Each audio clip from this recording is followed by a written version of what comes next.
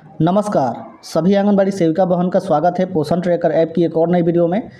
जैसे कि पोषण ट्रैकर ऐप में आप लोगों ने देखा होगा, एक एम्पियर करके अपडेट आई थी 19.2 में। तो वो एम्पियर की जो रिपोर्ट है वो आप लोगों को हर महीने यहाँ पे पोषण ट्रैकर ऐप में अपग्रेड की जाती है। आपके काम के अनुसार कि आपने कितना काम किया है, और कौन कौन सा काम किया है, जिसके अनुसार आप लोगों को एम्पियर की रिपोर्ट दिखाई जाती है। तो इस महीने की जो एम्पियर रिपोर्ट आप लोगों की बन के आएगी तो उसके लिए आप लोगों को पाँच ऐसे महत्वपूर्ण काम करने हैं, ताकि आप लोगों का जो एम्पियर बन के आए वो हंड्रेड बन के आए, और आप लोगों का जो इंसेंटिव हो, आपके खाते में आ जाए। तो इसके लिए आप लोगों को इस वीडियो को पूरा देख लेना है कौन कौन से ऐसे महत्वपूर्ण काम है, जिसके बारे में आज के इस वीडियो में बताने वाला हूँ। तो चलिए वीडियो को शुरू करते हैं।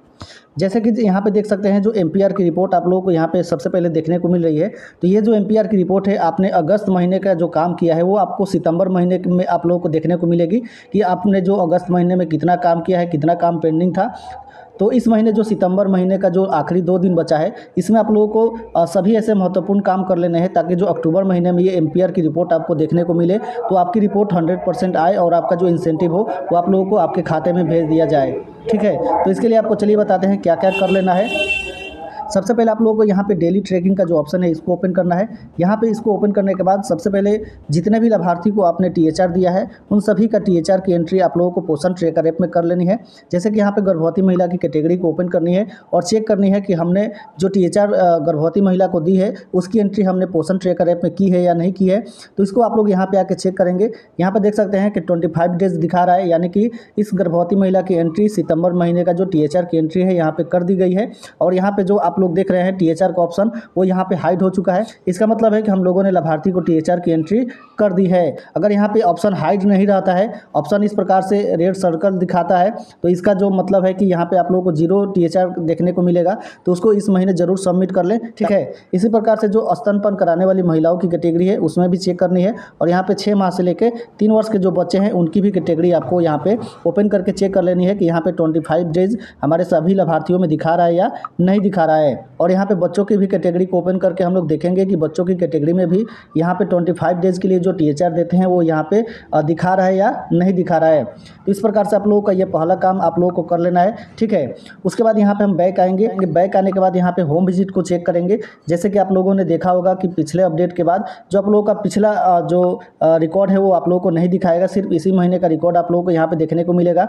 तो आप लोगों को कोई भी जो होम विज़िट है वो आप लोगों को छोड़ना नहीं है। जैसे कि यहाँ पे अगर कोई भी जो होम विज़िट है वो मिस्ड हो जाता है तो फिर आप उसको दोबारा नहीं कर पाएँगे। क्योंकि कई बार सेविकाओं का कमेंट आता है कि जो छूटा हुआ होम विज़िट है, उसको कैसे कंप्लीट करेंगे? तो छूटे हुए होम विज़िट को आप लोग कंप्लीट नहीं कर पाएँगे, इसका कोई ऑप्शन नहीं है। इसलिए आप लोगों को जितना भी होम विज़िट यहाँ पे बकाया यानी कि ड्यू में आप लोगों को दिया जाता है, वो सभी होम विज़िट आप लोगों को कंप्लीट कर लेना है। यहाँ पे आप लोगों को लास्ट डेट भी दिखाता है कि कितने तारीख तक आपको ये जो होम विज़िट है वो करनी है। तो यहाँ पे 28 सितंबर से लेकर 28 अक्टूबर का डेट मिल जाता है, यानी लगभग आप लोगों को एक महीने का यहाँ पे होम विज़िट का डेट मिल जाता है। इस बीच आप लोग कभी भी इस लाभार्थी का होम विज़िट कंप्लीट कर सकते हैं। तो इसमें भी आप लोगों को चेक कर लेना है कि हमारा जो भी लाभार्थी का होम विज़िट है वो कंप्लीट हुआ है या नहीं, ठीक है? इस प्रकार से आप लोगों को ये दूसरा काम कर लेनी है, ठीक है? अब चलते हैं यहाँ पे तीसरे काम की ओर। यहाँ पे हम मोड वाले ऑप्शन पे क्लिक करेंगे और यहाँ पे घटनाएँ वाले ऑप्शन को क्लिक करेंगे, ठीक है? यहाँ पे आप लोगों को इवेंट चार दिखाता है, लेकिन हम लोग को दो इवेंट में काम करना होता है। जैसे कि यहाँ पे वी जिस दिन आप लोग के आंगनबाड़ी पर टीकाकरण होती है। उस दिन की आप लोगों को यहाँ पे डेट डाल लेनी होती है। तो इसको भी आप लोग ज़रूर चेक करें कि हमने इस महीने का जो वी का कार्य किया है, वो यहाँ पर उसका डेट पड़ा है या नहीं पड़ा है, उसको आप लोग यहाँ पे देख के डेट ज़रूर सबमिट कर दीजिएगा। ठीक है, उसके बाद यहाँ पे हम आते हैं C B E community based event तो यहाँ पे देख सकते हैं कि सितंबर महीने का जो दोनों इवेंट है, यहाँ पे कंप्लीट हो चुकी है। पहला एक गोदभराई दिवस, जो सात तारीख को हम लोग मनाते हैं, और दूसरा यहाँ पे अनपराशन दिवस। तो ये दोनों इवेंट भी आप लोगों को पोषण ट्रेकर ऐप में अपडेट कर देनी है। तो ये आपका तीसरा और चौथा काम हो गया। उसके बाद आप यहाँ पे आना है होम पेज पे। होम पेज पे आने के बाद यहाँ पे डैशबोर्ड को ओपन कर लेना है और डैशबोर्ड को ओपन करने के बाद यहाँ पे आप लोगों को मोस्ट इंपॉर्टेंट जो वृद्धि निगरानी आप लोगों को करनी है इसके लिए आप लोगों को यहाँ पे क्या करना है कि देख लेना है कि हमने इस महीने जो बच्चों की वृद्धि निगरानी की है यानी कि ग्रोथ मोनिटरिंग की है वो कितना किया है अगर कोई भी लाभार्थी यहाँ पे पेंडिंग में रहता है तो उसको दो दिनों के अंदर कंप्लीट कर लीजिए। नहीं तो जो आपका एमपीआर रिपोर्ट बन के आएगा, उसमें आप लोगों को ये सारी चीज़ें पेंडिंग देखने को मिलेगी। चूँकि यहाँ पे जो वृद्धि निगरानी का कार्य होता है, एक से लेकर सात तारीख तक ही करना होता है, ठीक है?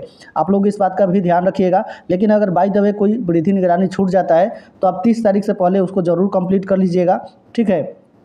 इस प्रकार से आप लोगों को ये पाँचों महत्वपूर्ण काम आपको इस महीने का जो है वो कंप्लीट कर लेना है, ताकि आपका जो अगले महीने रिपोर्ट बन के आए एमपीआर का, उसमें आपका यहाँ पे जो भी रिपोर्ट हो, आपका सही सही दिखे।